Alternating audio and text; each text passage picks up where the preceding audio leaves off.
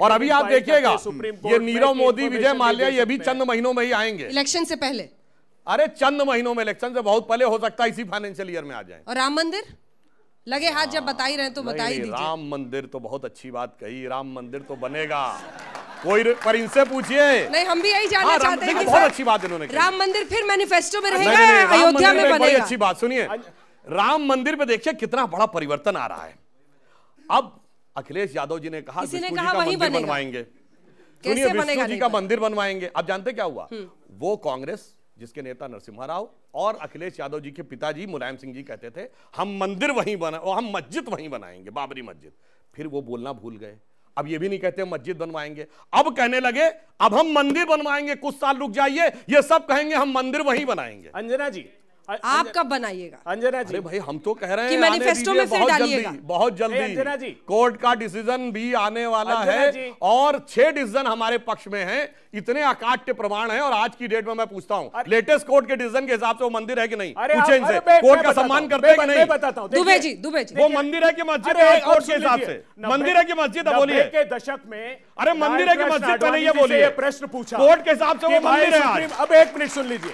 Supreme court में मुकदमा है आडवाणी जी। आप रथ यात्रा मंदिर के लिए निकाल रहे हैं। बोले कोई न्यायालय मेरी आस्था का फैसला नहीं कर सकती तो सत्ता दो और वाजपेयी जी तो आपके फेवरेट एक क्षण एक क्षण। उन्होंने कहा सत्ता दो में तो नरेंद्र मोदी की तुलना में आडवाणी जी और वाजपेयी जी आपको अच्छे लगने लगे। दस सेकंड लूँगा सिर्फ़। उनसे उन्होंने कहा सत्ता दे दीजिए मंदिर दे दूँगा। सत्ता दी तो कहा गठबंधन की मजबूरियाँ हैं। पूर्ण बहुमत दो हम मंदिर दे देंगे। इनके घोषणा पत्र में रखा पूरा बहुमत है। एक क्षण नहीं लगता। कोई अदालत इनको नहीं रोकती पार्लियामेंट में कानून लाने से। विश्व हिंदू परिषद कहता है कि प्रधानमंत्री ji article 108 constitution of India joint parliamentary session बुला करके कानून बना दीजिए। मगर मुखोटा लगाते हैं। जनता से वोट पाना चाहते हैं इसलिए सिर्फ़ मंदिर के मुद्दे को ज़िंदा रखना चाहते हैं। योगी जी और मोदी जी सत्ता के ऐश्वर्य के आडंबर में ठाट से और भगवान प्रभु श्री राम बैठे हैं आप भी भाषण देते हैं स्टैंड नहीं बताते फिर मेरा एक वाक्य तो- अंजना आप भी भाषण देते हैं स्टैंड नहीं बताते हैं। स्टैंड बताइए ना सर। अगर ये विधेयक लाते हैं क्या राज्यसभा में लोकसभा में तो बहुमत है। राज्यसभा में पास करेंगे। यही तो कहा विश्व हिंदू परिषद ने। आप बोलिए ना। कांग्रेस बसपा की ज़रूरत नहीं ज्वाइंट पार्लियामेंट्री सेशन बुलाओ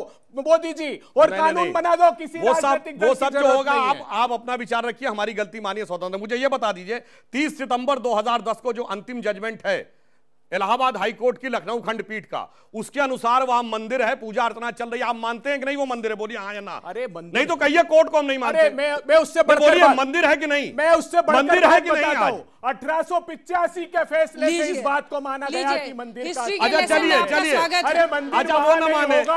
वर्तमान से आपको दूर ले जाएँगे इतना पीछे ले जाएँगे कि आज के बारे में कुछ नहीं अयोध्या में नहीं बनेगा तो स्टैंड बताइए ना। बाद में बनेगा? चलिए, ठीक है, बोल दिया उन्होंने। तो उनके दिल में भी प्रभु राम बस बनेगा मंदिर। बनेगा मंदिर। बिल्कुल बनेगा।